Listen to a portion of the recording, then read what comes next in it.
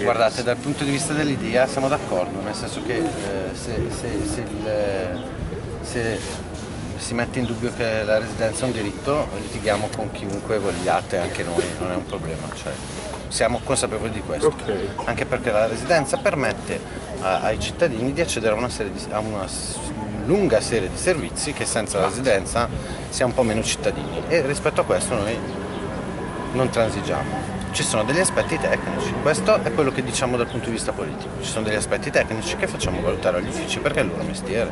Allora non riesco a capire perché non riesce a scriverla quando abita o comunque a domicilio. Se in una casa no. occupata no, c'è, non la iscrivono. In quella via lì. No, Ma quella fittizia sì però. Non esiste una via fittizia, bisogna dimostrare che quella persona è senza fissa dimora senza fissa dimora perché se abiti in una casa del comune eh, abusiva non è un senza fissa dimora, è un occupante. E questo è il discrimine che stiamo cercando di far eh, rileggere agli uffici per trovare un, una linea perseguibile. No, perché pare brutta detta così, perché se sei disperatissimo e non ti sei auto-organizzato, allora puoi avere qualche diritto. Se invece ti sei auto-organizzato. Se questa famiglia viene sfartata e buttata per strada e vive su una panchina, l'amministrazione, il comune di Bergamo dà la residenza perché va bene. Se invece una famiglia decide per questioni anche comprensibili e che noi chiamiamo cioè, di dignità, di andare a prendersi una casa che da anni e anni è lasciata vuota, è lasciata marcire, in quel caso lì se una famiglia ci dà delle soluzioni che le istituzioni in questo caso non danno, la residenza non viene data perché c'è eh, l'articolo 5 del piano casa. Cioè, la, la, roba non regge, perché senza residenza non possono accedere al diritto al lavoro, al diritto alla sanità pubblica, al diritto all'istruzione pubblica. Questa è una situazione che va avanti da un anno, sono famiglie con bambini minori, bambini che stanno per nascere, a cui sono state staccate le utenze, quindi l'elettricità e l'acqua e su questa cosa se non ci mobilitiamo eh, noi come abitanti, cerchiamo noi di separare, non si muove nulla. Se riusciamo anche nella discussione, poi noi siamo molto disponibili a parlare e lo sapete. Eh, cerchiamo di separare quello che è eh, il presidio della residenza fittizia che come vi ho detto viene utilizzato dagli uffici tutte le volte che serve, dalla eh, richiesta che secondo me è un po' forzata di residenza in un alloggio occupato. In realtà non è così non forzata, non è di quello che ci stiamo parlando, non è così forzata, c'è in altre città l'occupazione per necessità è stata riconosciuta e con quella è stata data residenza.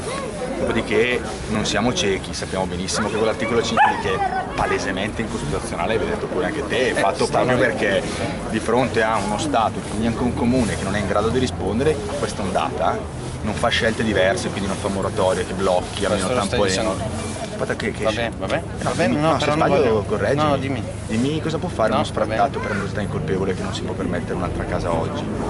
Sì, la scelta molto. sbagliata è occupare una casa che... Perché quale altre scelte ci sono? Cioè, sì, però... Andare a smembrare, la, tornare al proprio paese, no, smembrare la famiglia... Non sono d'accordo. Detto questo, io mi prendo anche l'impegno di rivederci tra martedì dopo Pasqua e magari fare anche un incontro con i dirigenti perché poi questa è una cosa esclusivamente tecnica. Cioè quando vi arrivano i dinieghi io non li vedo neanche sì, però c'è dietro una volontà politica nel non dare la residenza a chi, a chi si risolve dei problemi da solo perché ritorniamo sullo stesso punto, perché comunque le istituzioni... Eh beh, sì. C'è dietro anche una volontà di rispetto delle persone che stanno aspettando un immobile, che non occupano case. Sì, ma stiamo parlando... che cercano di... Sì, ma stiamo parlando di case di averla che sono lasciate abbandonate da un sacco di anni, che non sarebbero abitabili e che probabilmente rientreranno anche in un, in un piano di svendita. Noi oltre alla questione delle residenze, che, oltre, piano, oltre a, alla questione delle residenze accogliamo l'incontro per martedì prossimo, sì, abbiamo detto, eh, magari noi, facciamo in modo noi, che ci possano essere anche il dirigente del, dello Stato civile dell'anagrafe e la responsabile dei servizi demografici. Dopodiché vorremmo anche parlare col sindaco perché la questione degli sfratti sul territorio bergamasco è un'emergenza, è un'emergenza da parecchi anni. Guardate, il sindaco riceve. E il sindaco può fare una moratoria ed è, il caso che, è, ed è il caso che la faccia. E quindi la questione della moratoria per noi è altrettanto importante quanto quella delle residenze e ne approfitteremo martedì per ribadire questa cosa. Dopodiché Dopodiché all'interno del piano casa c'è anche un famigerato articolo 3 che prevede una svendita pesante del patrimonio pubblico. Noi, anche su, anche, abitato, noi da- su questo punto vogliamo una presa eh, di posizione chiara e netta da parte del sindaco.